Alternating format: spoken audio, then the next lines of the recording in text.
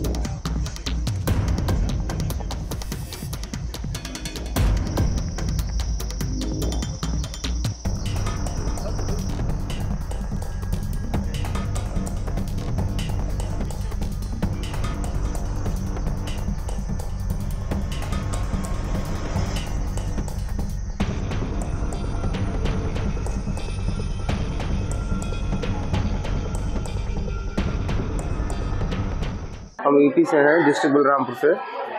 हम माता वैष्णो देवी के दर्शन करने के बाद में गए थे शिवखोड़ी दर्शन करने। दर्शन करके जब वापस लौट रहे थे मुश्किल से चार पाँच किलोमीटर गाड़ी आगे आई होगी। फिर एक पहाड़ से जब नीचे उतर रही थी तभी गोली चलने लगी थी। आप ठीक हो बेटा? और गोली चलने के बाद में बस जब नीचे चली गई है गिर गई बस उसके बाद में तब भी गोली काफ़ी टाइम चला। तो रोड पे जब गाड़ी थी चल रही थी तो सामने सफारी। आपको कुछ फायरिंग हुआ है।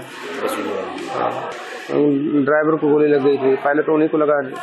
उसके बाद में कई लोग जो ये कि बच्चा गिर दे- ना जाए यार आगे हो जो बच्चा कई जो भक्त लोग थे उनको भी लग गया है। मैं संत कबीर नगर यूपी से आया हूँ और शिवखोड़ी के दर्शन के लिए गया था। और दर्शन करके वापस हम लोग आ रहे थे। दो तीन किलोमीटर बस चली होगी। उसके बाद जो है सामने से हमारे फायर होने लगा। फायर चलता रहा और बस हमारी जो है थोड़ी सी आगे जाकर खाई में पलट गई। पाँच छः राउंड गिरने के बाद एक बड़ा पत्थर में जो है बस फंस गया और रुक गया। और सभी लोग जो है छोटी लोग हैं, उसमें कोई पड़ा था बेसुद कोई इधर, कोई बाहर, कोई बस में, और सभी लोगों को एकदम जो है चोट लगा हुआ था।